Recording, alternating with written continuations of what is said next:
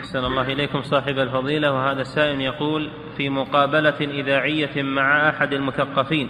مع يقول هذا السائل في مقابلة إذاعية مع أحد المثقفين لما سئل عن أمنيته قال أتمنى أن يكتشف العلماء علاجا للموت. السؤال هل هذه الأمنية فيها خلل في العقيدة لأنها اعتراض على أمر قضاه الله سبحانه على الخلق؟